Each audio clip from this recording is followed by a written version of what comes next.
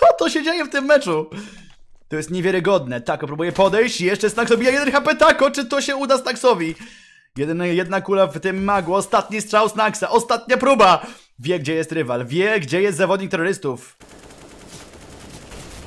Próbuje skanować Tako. Cze- Czeka w smoku Snax. Próbuje teraz minąć się z rywalem 3 sekundy. Chowa się w smoku Snax. Co? Co to się dzieje? Spalony Tako. Spalony Tako.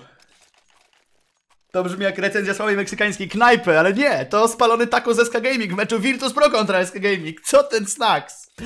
Co ten... Oczy, pasza biceps z zoomem, no i teraz Fer obity. Czy dostał info od kolegów, że dostał trochę HP Fer? Chyba nie do końca. Pasza próbuje podejść. Cały czas Fer ze spokojem przeskoczy, jeszcze nie, jeszcze czeka.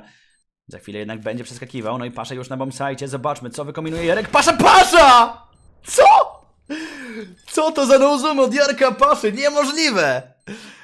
Ależ to sprytnie zrobił, krok w lewo, tupnął i przez to wychylił się Fel na prawo i tylko na to czekał Jarek Pasza. Co za runda Jarka Paszy, 11-0-0 i 6-0 w tym pojedynku, no nieprawdopodobne. Co ten Pasza strzelił? Niewiarygodne. A jeszcze przed momentem oglądałem mecz z Face Clanem w internecie, w ECS-ie, kiedy przegrywali na trainie na swojej chyba ulubionej mapie 6-16, kiedy Rein nastrzelał ile? 37 fragów tam było? Nieprawdopodobny mecz Reina i sobie myślałem, no to chyba ten turniej Epicenter będzie dla Virtusów ciężki. Na razie jednak Virtusi pokazują wielką klasę, a tu Neo z jakimś ciekawym... Oj, co to był za strzał? Jakimś ciekawym smokiem. Cóż to za smoke? No proszę, na gali ten smoke leży. No i popatrzmy jak będą wchodzić nasi tutaj tako za bombsite'em, ale już atakowany przez Taza, Taz ze spokojem. Zdobędzie tego fraga o rany, przepraszam za to. No i... Będzie stop. Tym razem oczywiście nic się złego nie stało, no i Fallen stwierdził, że pójdzie do lepszego teamu. Ja się wcale nie dziwię, Virtusik został tutaj dużo mocniejszym teamem, także Fallen będzie grał tutaj z Virtusami. Myślę, że to jest dobry wybór Follena, żeby przetransferować się do Polaków, do Virtusów. No będzie musiał się nauczyć jednego z najtrudniejszych języków świata, jeżeli chce, jeżeli chce grać z Virtusami, no ale, ale cóż, dla takiego skilla myślę, że warto. Zobaczył, co robił Snax, co robił Pasza w tym meczu i stwierdził, że nie, dobra, idę grać z Virtusami. Tu jeszcze Snax nam pokazuje sztuczki, nawet nie wiedziałem, że to się da, da wskoczyć. No więc tak, nie, no to jest nawet dwóch falenów, słuchajcie, patrzcie. Idealnie trafił. No i Snax, jeden na jednego, 5 HP Snaxa. Coldzera już plantuje paczkę. Snax wciąż czeka, jeszcze nie wychyla. No i widział Snax, gdzie idzie Coldzera. Wiedział, widział. Oj, było blisko, szkoda, no ale teraz musi poczekać rzucony flash przez Coldzirę. Poczeka jeszcze Snax, jeszcze się wstrzymał na moment.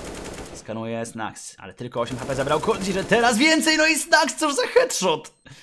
Jak oni to robią? Po prostu to jest niewiarygodne. Ja nie wiem, jak to jest możliwe. Jak to jest możliwe, że tak strzelają zawodnicy Virtus Pro już w tej sytuacji. Obił rywala jeszcze nie przez budkę, bo widział przejawu przeciwnika, ale ten headshot, ta kontrola Fallouto, no że w takim momencie wpadła głowa, to jak mogą grać na akaczach, mają też na pełny zestaw granatów, także ważna runda przed nami. Jeżeli tę rundę wygramy, będzie 11-1, będą kompletnie spłukani Brazylijczycy.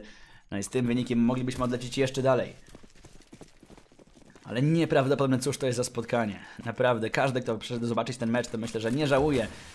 Oglądając taką dominację ze strony Virtus Pro, tymczasem pas, Snax, jeden frag dla niego, Snax po raz kolejny, Snax, ależ to robi Snax, jeszcze raz nie! Ale Snax teraz trafił. No i znowu widzieliśmy magię Snaxa, nieprawdopodobne co się dzieje, tymczasem ginie biały, no i musi Neo uważać, musi wycofać, żeby on tutaj nie zginął, pasza na plecy.